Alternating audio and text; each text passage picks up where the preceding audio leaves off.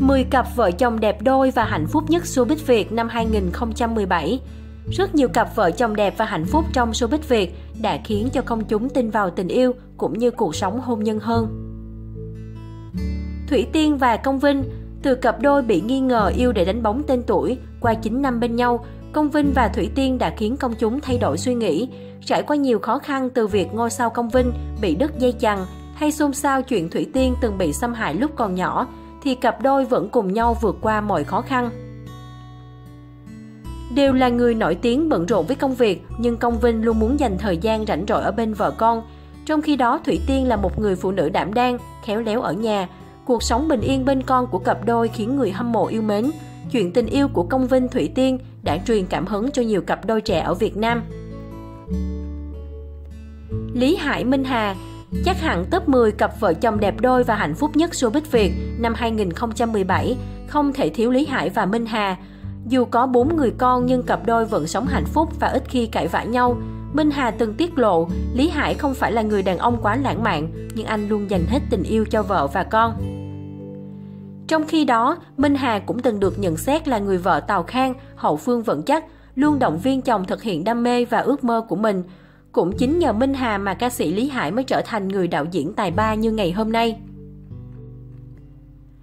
Tuấn Hân và Thu Hương từ một ca sĩ được mệnh danh là người đàn ông hào hoa nhất showbiz Việt, Tuấn Hưng đã thay đổi rất nhiều sau khi kết hôn với bà xã xinh đẹp Thu Hương.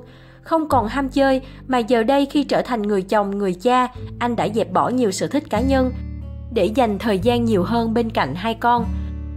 Thu Hương cũng thừa nhận rằng mình cũng không thích tụ tập bạn bè mà dành thời gian rảnh rỗi cho gia đình.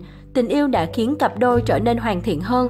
Có thể nhìn thấy rằng từ sau khi kết hôn và có con, sự nghiệp của Tuấn Hân và Thu Hương cũng thành công hơn.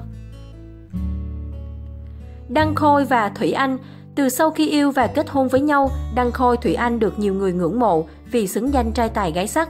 Cặp đôi sạch scandal này hiện đang tận hưởng niềm hạnh phúc bình yên bên hai cậu con trai đáng yêu. Nếu như Đăng Khôi nổi tiếng là một ca sĩ, thì Thủy Anh lại là một hot mom được nhiều bà mẹ bỉm sữa yêu mến. Cô thường xuyên chia sẻ cách dạy con khỏe và ngoan hay bí quyết giữ dáng đẹp. Trong năm vừa qua, Đăng Khôi và Thủy Anh cũng đã xuất hiện trong nhiều chương trình truyền hình liên quan đến gia đình. Thanh Bình Ngọc Lan Sau nhiều lận đận trong tình duyên, cuối cùng Ngọc Lan cũng tìm được hạnh phúc cho cuộc đời mình. Từ khi yêu và kết hôn với diễn viên Thanh Bình, Ngọc Lan luôn được thương yêu và chiều chuộng hết mực. Chính Thanh Bình là người giúp Ngọc Lan vượt qua bệnh trầm cảm sau sinh và khiến vợ an tâm hơn để quay trở lại với phim ảnh. Có thể nói cuộc sống hạnh phúc của Thanh Bình và Ngọc Lan khiến nhiều người mơ ước. Huỳnh Đông và Ái Châu Sau 4 năm yêu và hẹn hò, Huỳnh Đông Ái Châu đã quyết định kết hôn vào tháng 1 2015. Dù đều là hai diễn viên được nhiều người yêu mến, nhưng vợ chồng Huỳnh Đông và Ái Châu lại lựa chọn một cuộc sống bình yên, không tạo scandal để nổi tiếng. Ngoài công việc diễn xuất, cặp đôi dành nhiều thời gian cho cậu con trai đáng yêu. Những khoảnh khắc bình dị của cặp đôi luôn khiến người hâm mộ yêu mến.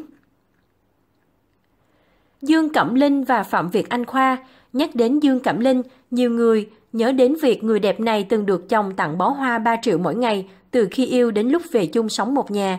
Sau khi trở thành vợ chồng, dù không còn thói quen tặng hoa mỗi ngày, nhưng cuộc sống của Dương Cẩm Linh và anh Khoa vẫn đông đầy hạnh phúc đặc biệt là khi con trai đầu lòng của cặp đôi sinh ra đời.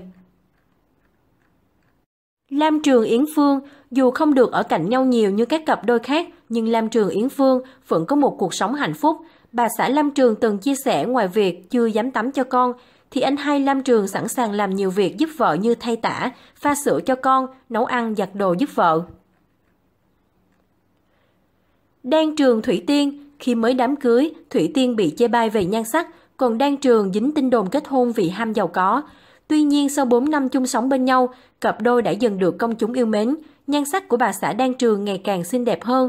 Đặc biệt, từ sau khi con trai chào đời, vợ chồng Đan Trường ngày càng hạnh phúc, cuộc sống giàu sang trong biệt thự triệu đô của nam ca sĩ và vợ khiến nhiều người mơ ước. Hải Băng Thành Đạt Hải Băng từng bị dính tin đồn là người thứ ba, khiến Diệp Bảo Ngọc và Thành Đạt chia tay. Thậm chí nhiều người còn cho rằng chính vì sợ dư luận ném đá nên suốt thời gian mang bầu cô luôn giấu giếm. Tuy nhiên, sự thật là Hải Băng đã yêu Thành Đạt khi anh chia tay vợ được một thời gian. Hải Băng Thành Đạt bí mật đích hôn vào năm 2016. Cặp đôi hiện đang sống hạnh phúc, đặc biệt là khi có cô con gái đáng yêu. Nam diễn viên cũng được khen là người chồng hết sức yêu thương và chiều chuộng vợ. Anh sẵn sàng chi số tiền khủng để tặng quà cho Hải Băng.